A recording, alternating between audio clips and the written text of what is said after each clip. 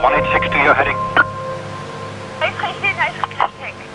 Heb je hem gezien? Eén grote rookbol boven de stad. Jezus.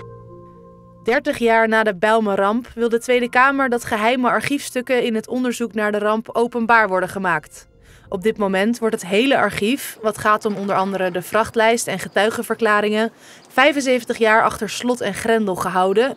Dus op zijn vroegst kunnen we daar pas in 2068 bij. Ik ben hier geboren en getogen en je merkt dat tot, eh, tot op heden mensen nog steeds vragen hebben. Hè, dat heb ik ook mijn hele leven lang gehoord en meegekregen. En ik vind dat het belangrijk is dat de overheid transparantie biedt.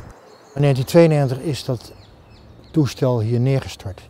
En toen heeft de overheid zeven jaar gewacht met serieus te gaan kijken wat is er nou precies gebeurd, hoe kwam het, wat was de lading.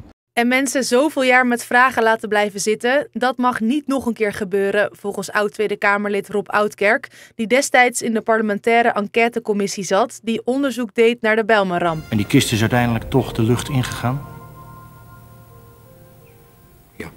Als je nu eigenlijk dezelfde fout maakt door te zeggen nee, we gaan nog 50 of 75 jaar die stukken, waarvan er ook gewoon richtlijnen zijn van hoe je met zo'n toestel moet bewegen, geheim houden, dan laat je de verdenking op je dat er in die stukken iets staat. En dat betekent dus dat je onrust creëert.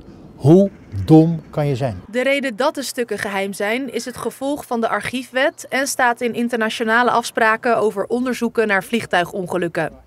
Er zijn toch ook gewoon internationale regels die verbieden om die stukken openbaar te maken? Voor een groot deel wel. Hè? Dus ik zeg ook wat geheim moet blijven, moet geheim blijven.